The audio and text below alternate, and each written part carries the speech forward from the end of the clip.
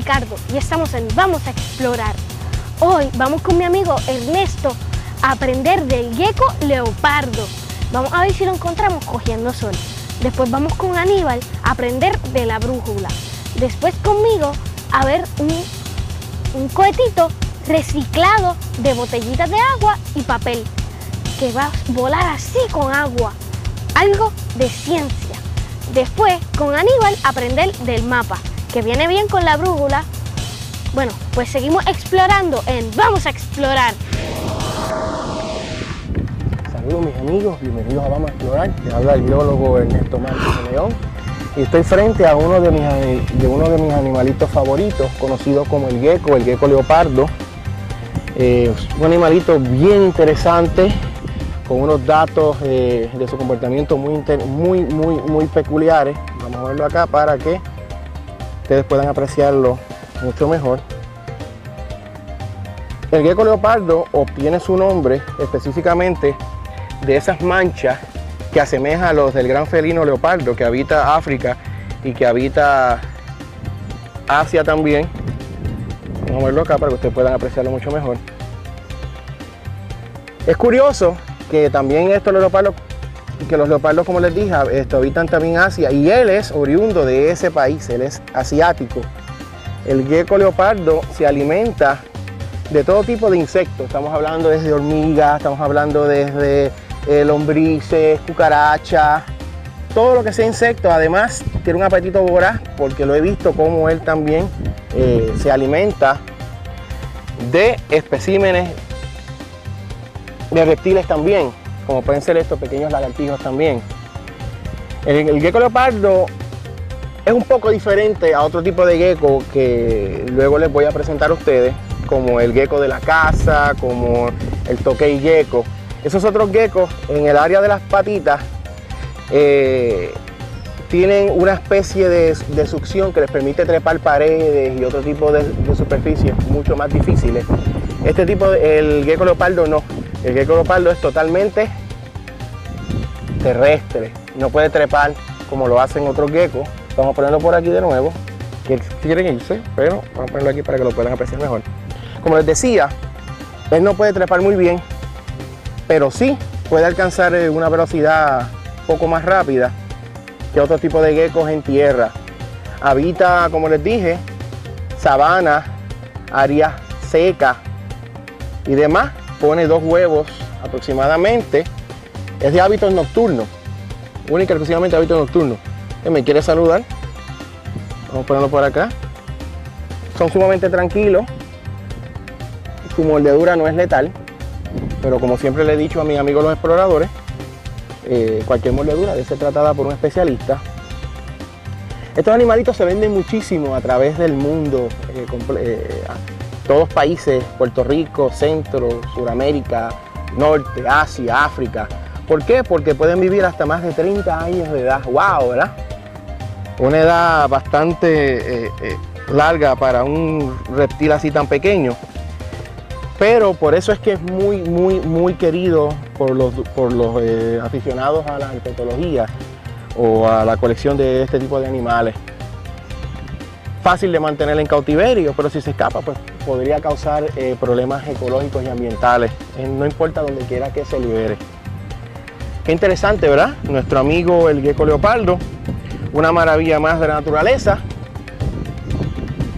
y precioso en realidad. Como siempre les digo, mis amigos, vamos a, eh, a continuar buscando especímenes así tan interesantes y como les digo, vamos a explorar.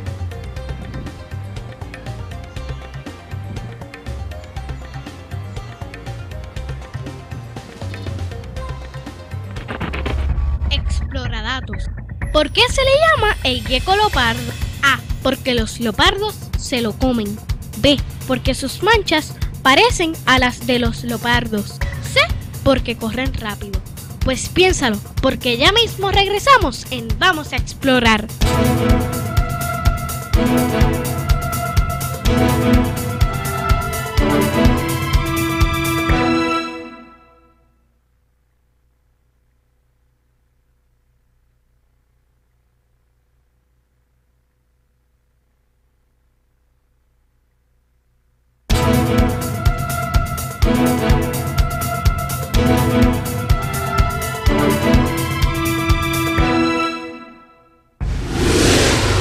Regresamos. ¿Lo pensaste? Pues la pregunta era, ¿por qué se le llama el gecko leopardo? Respuesta correcta es B, porque sus manchas parecen a las de los leopardos.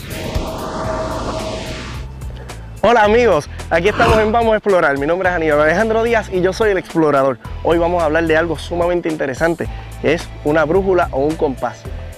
Muchos sitios le llaman compás porque en los barcos habían unos grandes compases, así que ellos seguían esa estrella del norte y ellos empezaron a buscar de qué manera se les iba a hacer más fácil esto, hasta que alguien descubrió cómo hacer entonces que, que una brújula funcionara. Así que vamos a ver cómo es que esto funciona.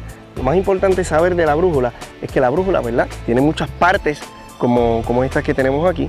Tenemos aquí la, flecha del norte. Esta siempre va a estar señalando el norte. Esta flecha que tenemos aquí. En este círculo que tenemos aquí tenemos los puntos cardinales, norte, sur, este y oeste. ¿verdad? Ellos nos van a ayudar a estar pendiente hacia dónde nosotros estamos caminando o para orientarnos cuando estamos en algún sitio o estamos mirando algún mapa.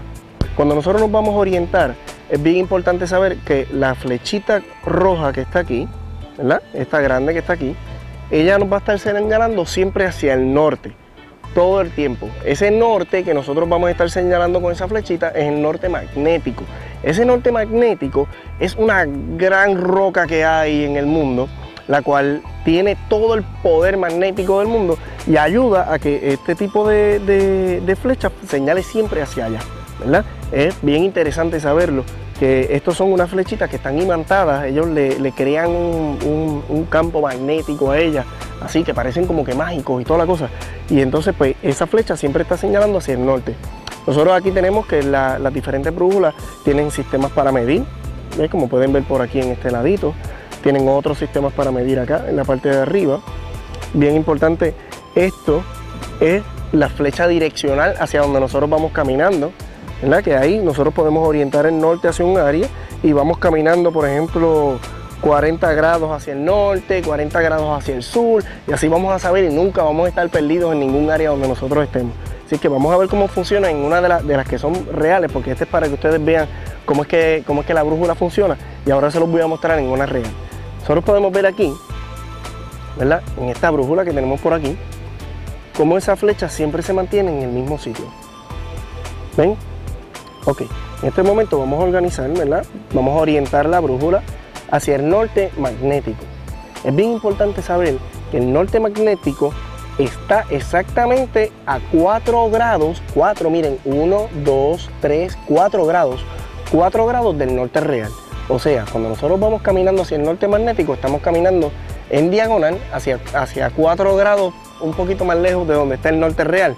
Así es que cuando nosotros nos orientamos, siempre vamos a estar pendientes de utilizar esos cuatro graditos que nosotros tenemos por aquí, ¿verdad? Para saber exactamente dónde está el norte. ¿Ok? Eso es bien importante saberlo. Así que eso es sumamente, sumamente interesante. Y es que aquí, como pueden ver, nosotros tenemos 360 grados, que es una vuelta completa, ¿verdad? En todos los números que nosotros tenemos aquí arriba. Y esto se puede utilizar para muchas cosas.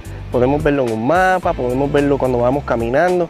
Por ejemplo, podemos decir que vamos a hacer un, un, juego, ¿verdad? Y en ese juego nosotros podemos decir que vamos a caminar 5 grados hacia el norte y vamos a encontrar con 100 pasos eh, un árbol.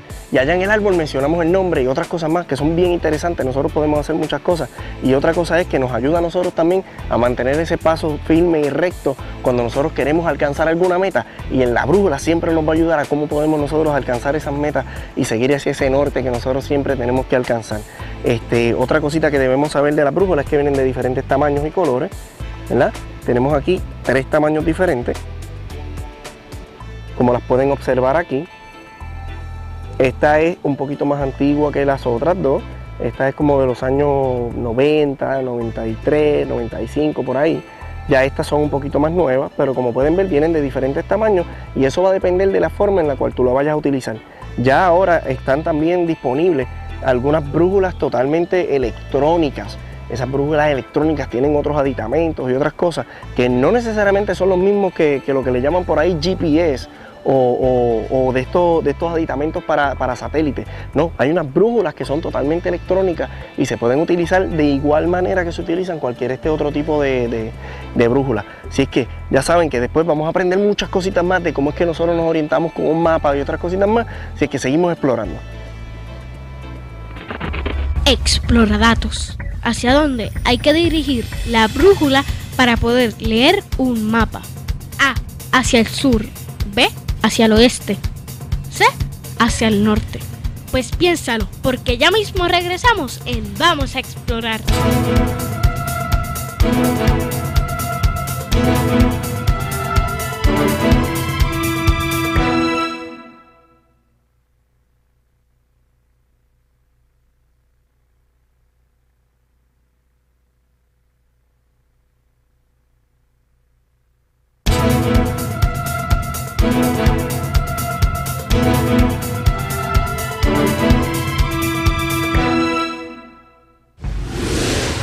Ya regresamos.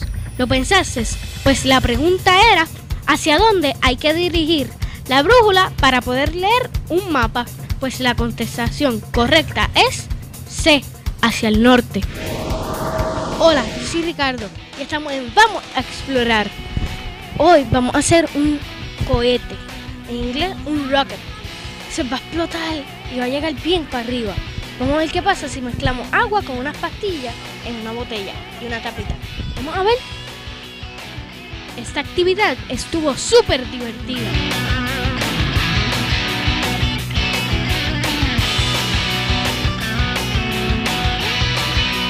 Primero, tuvimos que recortar un pedazo de papel en forma de rectángulo.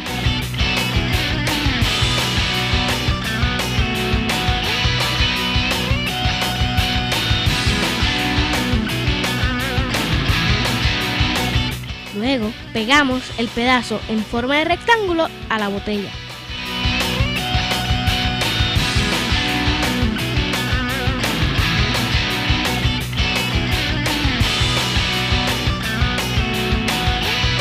Después recortamos el círculo y le cortamos una parte para poder formar como una pirámide redonda.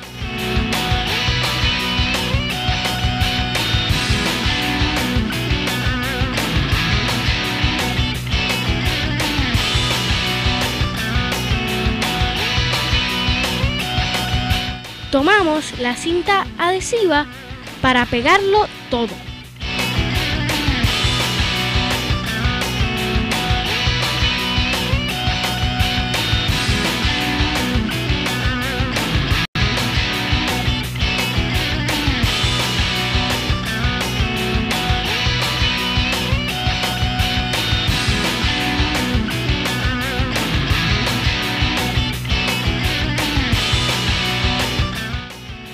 Nos entregaron unas pastillas efervescentes y un corcho.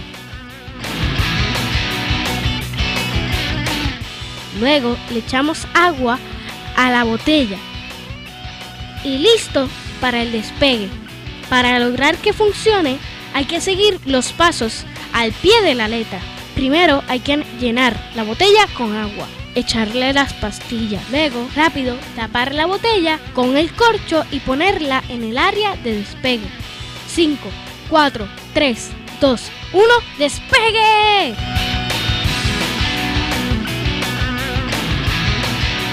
El instructor nos explicó que al combinarse el agua con la pastilla efervescente se crea una reacción química y el gas es lo que hace que el corcho salga disparado propulsionando el cohete hacia arriba.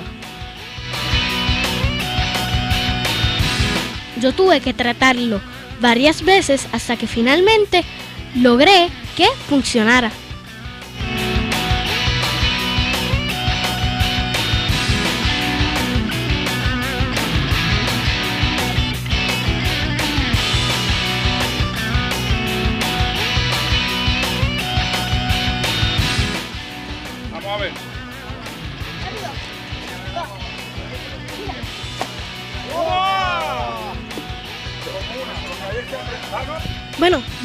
¿Vieron qué brutal estuvo? ¿Vieron? Supe que iba a llegar uno bien rápido. El mío llegó hasta arriba. Bueno, eso es por una reacción química del agua y la pastilla. Un Seguimos explorando en Vamos a explorar. Exploradatos. ¿Qué tipo de reacción se crea cuando mezclamos la tableta efervescente con agua? A. Una reacción nuclear. B. Una reacción química. No hay reacción. Pues piénsalo, porque ya mismo regresamos en Vamos a explorar.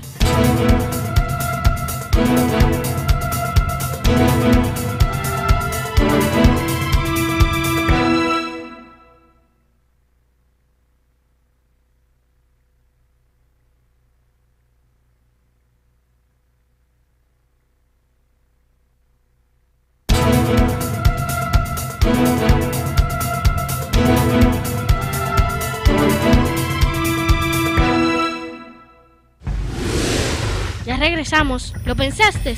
La pregunta era, ¿qué tipo de reacción se crea cuando mezclamos la tableta efervescente con agua? La respuesta correcta es B, una reacción química.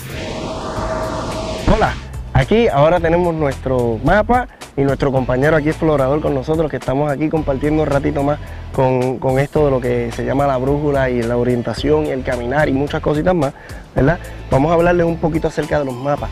Los mapas están hechos para nosotros guiarnos en un sitio donde no lo podemos ver. Por ejemplo, aquí tenemos nuestro campamento, ¿verdad? Debidamente dividido y todo lo demás, en el cual encontramos que todas las áreas de campamento están descritas porque alguien en algún momento o se dedicó a caminar todo y a identificar cuánta medida había en cada uno de los sitios, o simplemente y llanamente viene una persona desde arriba, tomaron unas fotos de todo el campamento y hicieron una representación de esas fotos. ¿verdad? Esa representación que ellos cogieron, pues la pusieron aquí con todas las áreas descritas, con sus diferentes nombres y todo lo demás. ¿verdad? Ya nosotros tenemos aquí identificado nuestro mapa y recuerden que vamos a tener trabajo con nuestra brújula, ¿verdad? Que vamos a estar mirando siempre la brújula para nosotros dejarnos llevar en el mapa. Y lo primero que vamos a aprender es, vamos a buscarle el norte a este mapa. Normalmente vamos a ver que en algunas áreas va a estar marcado, ¿verdad? Con algunas cositas de, de dónde está el norte. En este caso nosotros vamos a utilizar este campsite A como nuestra área de norte, ¿verdad? Que es el área de aquí arriba. Este va a ser nuestro norte. Y cuando nosotros vamos a orientar un mapa, en vez de orientar, recuerda que ahorita hablamos de orientar la brújula, no de, no de orientar el, mapa, ¿verdad? Nosotros orientábamos la brújula, pero ahora vamos a orientar el mapa. Para orientar el mapa es para nosotros acomodar el mapa de manera tal de que quede con el norte hacia donde va, ¿verdad? Vamos a poner un ejemplo aquí, que que recuerden que tenemos el norte de ese mapa en la parte de arriba y vamos a buscar dónde entonces tendríamos que poner la brújula para que ella quede totalmente orientada con el norte. Lo primero es que vamos a tener esto señalando hacia acá. ¿Y qué es lo único que nos falta para orientar la brújula? Vamos a ver, ¿alguien sabe? ¿Qué es lo único que nos falta? ¿Ah? Que este norte entonces llegue hacia acá, que todas las flechitas queden todas unidas en un solo, en, un mismo, en una misma línea, ¿verdad? Porque tenemos aquí que estas lineecitas que nosotros tenemos aquí, que son medidas, ¿verdad? Esto que está aquí, nos ayuda a nosotros a identificar cuánto espacio hay entre una cosa y la otra. ¿Por qué? Esto nos ayuda con las escalas de los diferentes mapas. Los mapas a veces tienen unas escalas específicas que por cada pulgada es una milla, o por cada centímetro es una milla, o un metro, o, o hay muchos, muchos tipos de identificaciones de esos mapas dentro de, cada una de las cosas. Lo otro es que, claro, vamos a identificar, por ejemplo, que aquí en este área tenemos como un triángulo. Esos triángulos a nosotros nos están simbolizando de que esos son casetas de acampar, ¿verdad? Quiere decir que es un campsite. Es un área donde hay unas casetas que nosotros podemos acampar dentro de ellas y las identifican con un triángulo. Si miran por aquí, ¿verdad? Tenemos otro triángulo en este área, que es otra área que se llama Cobana Negra, ¿verdad? Y así sucesivamente tenemos diferentes áreas en, en, el campamento. Bien importante saber que tenemos por aquí, en este área, bien chévere, todo identificada, todas las áreas que nosotros tenemos de acampar en, en, este campamento. Y es bien chévere nosotros saberlo porque así entonces nos podemos orientar de mejor manera. ¿verdad? Ya tenemos ese norte orientado y ahora queremos hacer lo siguiente. Vamos a caminar desde, desde aquí, del área de las banderas, ¿verdad? Nos vamos a orientar y a caminar hasta el campsite A. ¿verdad? ¿Qué vamos a hacer? Vamos a pararnos aquí, ¿verdad? Que estamos parados frente al área de bandera.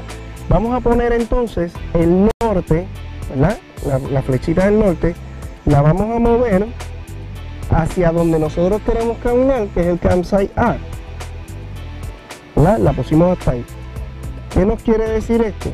Que nosotros vamos a estar caminando 30 grados hacia el norte, de 30 grados fuera del norte magnético, hacia este otro norte que nosotros señalamos, que es hacia donde vamos, que es el campsite A, ¿verdad? Y así nos podemos orientar de la siguiente forma.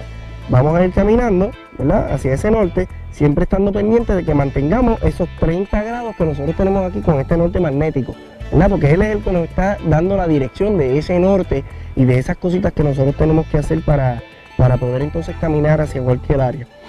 Bien importante saber que cuando nosotros vayamos a medir, ¿verdad? No necesariamente vamos a medir con, desde aquí, desde la esquina, ¿verdad? Tenemos unas medidas aquí que nos está empezando el 1 desde aquí, ¿verdad? Pues, ¿qué quiere decir? Que nosotros podemos utilizar diferentes áreas para medir y siempre estando pendientes de que utilicemos la rayita específica. Cuando vayan a coger una regla en su casa, con su mamá o con su papá y vayan a medir algunos de sus proyectos, bien importante, tienen que mirar bien la regla cuando la vayan a utilizar para que entonces vean que quizás hay un espacio adicional que no nos hace falta, ¿verdad? Y es bien importante saberlo. Así que con esto, ahora nos vamos a jugar nuestro juego, que vamos a llegar hasta allá, hasta el campsite A con nuestra brújula. Así que coge tu brújula y vamos caminando y seguimos explorando. Bueno, ¿vieron el leopardo? Como lo dije, estaba cogiendo sol, pero en una roca. ¿Vieron qué lindo eran los colores? Después, con la brújula. ¿Vieron que muchos estilos hay de brújula? Después, ¿vieron que alto llegó la botellita de agua? Eso era una botella de agua. Le echamos unos químicos y salió esmandada para el aire. Eso es por la presión. Después con Aníbal vimos lo de el mapa. Vieron que, que tú te tienes que llevar un mapa y una brújula cuando vas a acampar o vas a salir a lugares que tú no conoces. Ustedes pueden creer que esto es una raíz, que tú ruleca, ¿verdad? Pues nos vemos la próxima vez en Vamos a Explorar.